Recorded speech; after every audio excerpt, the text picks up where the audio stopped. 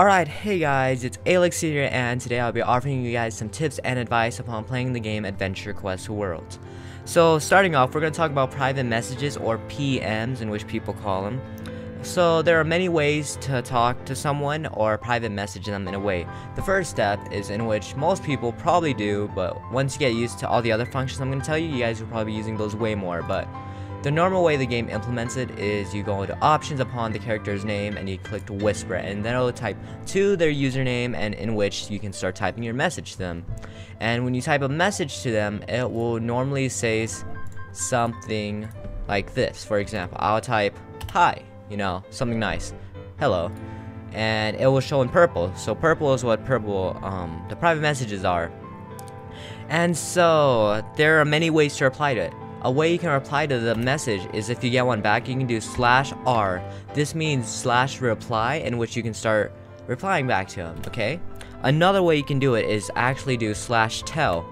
What you, uh, for this one, it's gonna be slash tell and then their username. So like his name is Art of Spamming, so you do slash tell Art of Spamming, and then after you get their username, press space, and there you go. Now you can talk to them that way as well.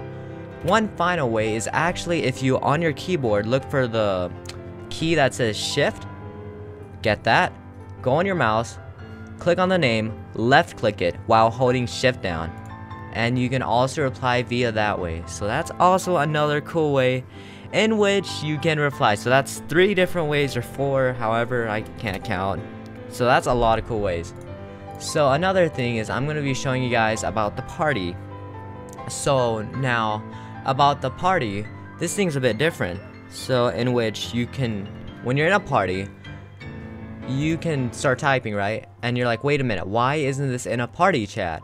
Well, you do slash p, mean slash party, to only talk in a party chat. So like that.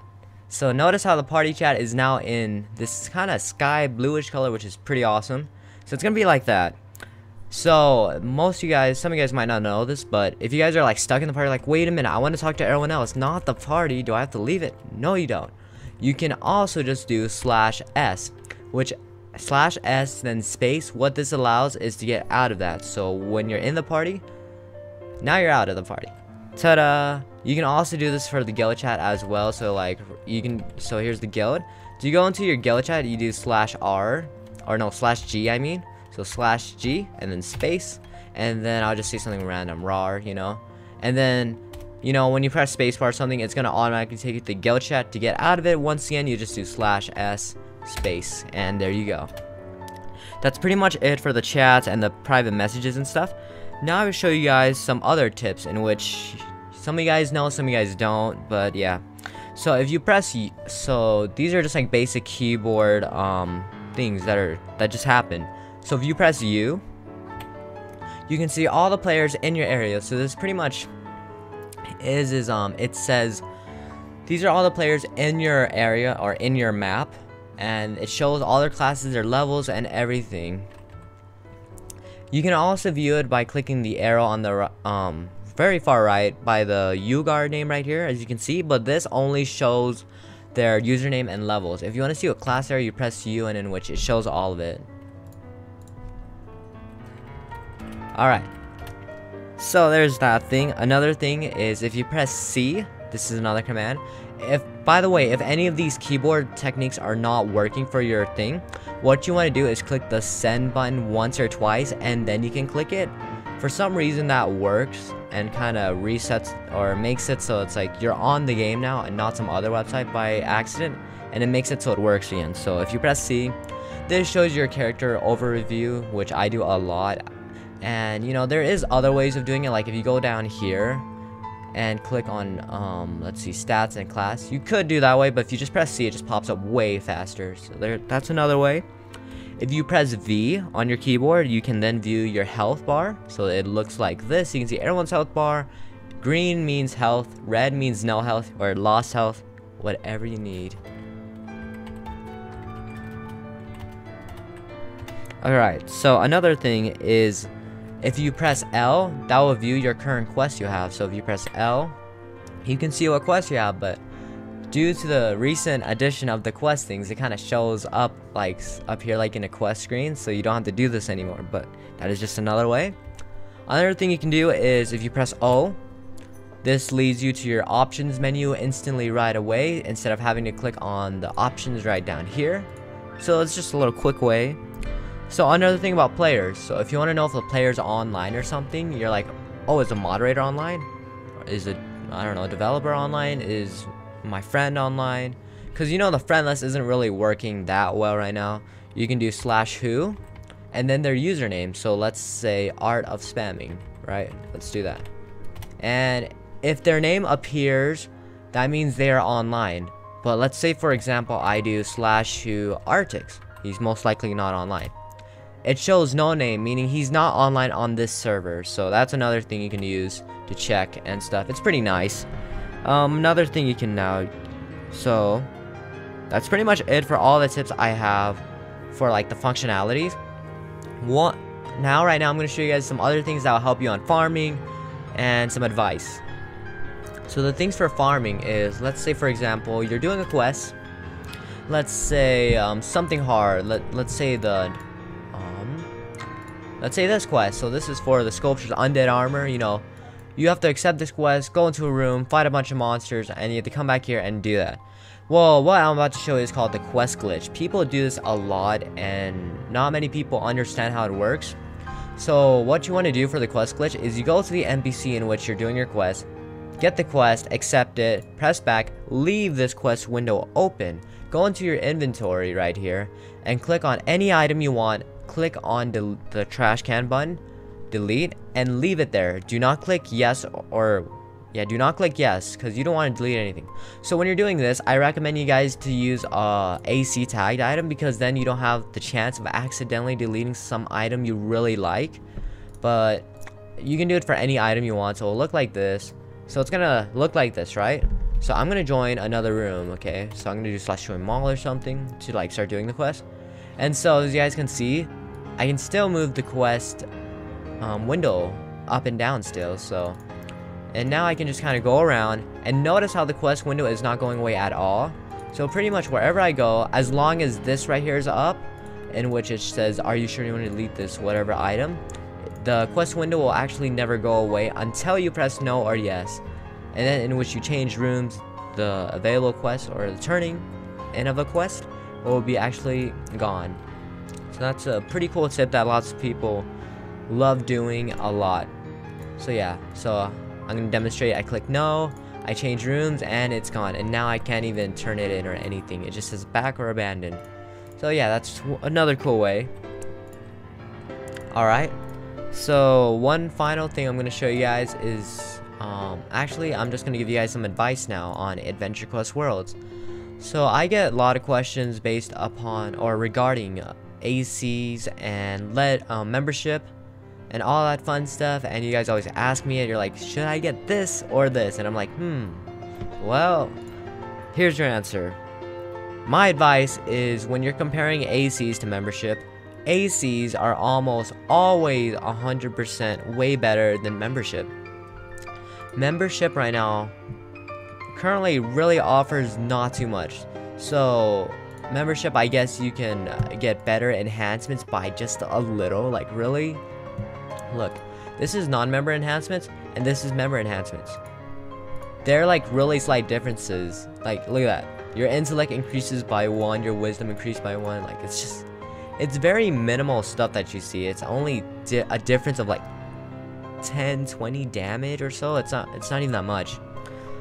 And also as a legend, I guess you get access to legend only areas, but really, all the areas I really like are non-member and they're like the best places ever. So I personally don't see anything in Legend membership yet, unless they add something really cool.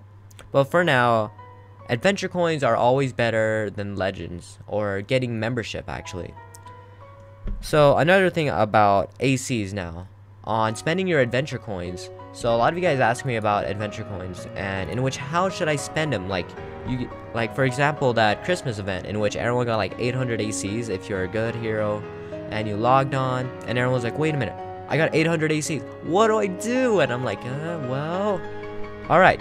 ACs, in order to use them efficiently, so the thing is, you can use them on many things. You can use them for um, buying AC tagged items. You can use it for buying house inventory. You can use it for buying inventory spaces. You can use it for buying bank slots. You can use it for buying more guild slots, like for your guild.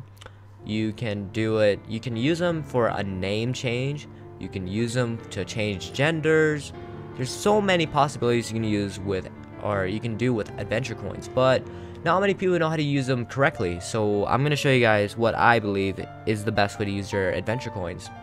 So adventure coins, you want to use them on rares, because the thing about rares is that rares will never come back. So I always tell everyone that whenever they have ACs, what do they do with them? Well, save and conserve.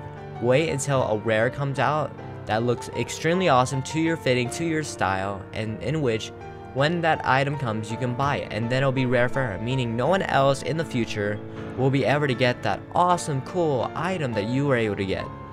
And it makes it really cool, so rarity plays a big part. The reason why I don't suggest people to use ACs on permanent items in game is because you won't feel that special, you know? You're gonna be like, oh, I just bought this item for like a thousand ACs, but everyone else can still get it from here and forever on, you know? It just it lowers down the actual value of what that item costed.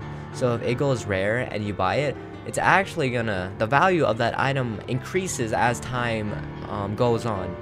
Meaning that item you bought that was rare is actually way better than if you were to get it like a bit ago. Like for example, I will show you guys something. Um, let's imagine that this blood letters was, um, let's say, oh actually no, I have something better. Like for example, this cape, Swords of Courage. I got this way back then for like 500 ACs. And no one else can get it. And this is still one of probably the best rune capes in the game right now currently. And no one else can get it. It might have cost a 500 ACs back then, but right now, so many people want this cape. I mean, some people are willing to spend 5,000 ACs, 6,000 ACs just to get this item, but they just can't. So that's what I mean by like the value of that certain item goes up because you know as it gets more rare people want it more and it can never come back so yeah another thing about ACs is um besides spending it on rares if you don't want any rares so the thing is you guys know that I have a lot of non-member items like you guys see this you know are not those ones but like cyber crystal this item you know this this you know these non-member items, you start with around 30 or 40 inventory spaces. I don't actually remember anymore. I don't know if they changed it, but you start with a limited amount of backpack spaces in which you can kind of do stuff with it. So what I suggest is um, you only want to start buying inventory space when you actually need it. So for example, let's say you have like 30 inventory spaces, but you only have like 15 items in your inventory. You really do not need to buy any inventory spaces yet until you're really full. By really full, I mean you have like all these non-member items, let's say, and they're all rare and just awesome and you just cannot delete them. So that's when you want to start buying inventory spaces. When you so another thing is bank spaces. So a lot of people have been asking about bank spaces or when you should buy those. This is the order in which I think I believe it should go inventory spaces only if you um really really need it and you're running out of room. Besides that, so it goes from inventory spaces only if you really need it to rares, so just rares that will go rare, to inventory spaces in which are kind of not really needed but you could get them. So inventory spaces are in between both. Like if you really need them, you should get them. If you don't really need them, I mean they're still really valuable, but not as valuable as rares. After inventory spaces, I personally think bank spaces is right after because bank spaces, so if you got max inventory like 200 like I do, you can start getting bank spaces in order to store more. Well, really, I don't think you need that much. After bank inventory spaces, you could use them on house inventory spaces. So house item will be increased to like 30 or so.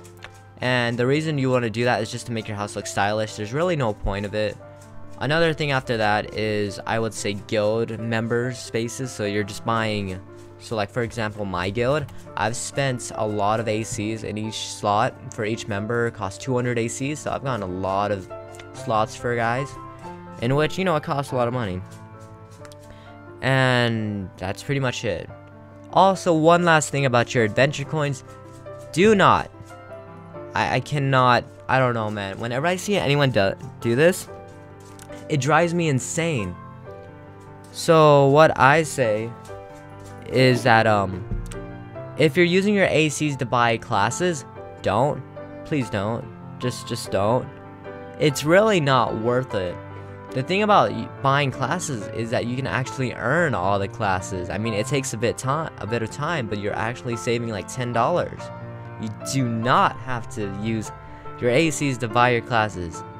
You heard it here, folks. Do not use your ACs to buy classes. That is like my biggest pet peeve on this game in which people do and I it drives me insane. I'm just like, don't do it. You can earn the class. There are a few people who uh, do that. So like for example, the only reason why I use ACs to get classes is to showcase the class's skills and then I sell it after. So I lose ACs.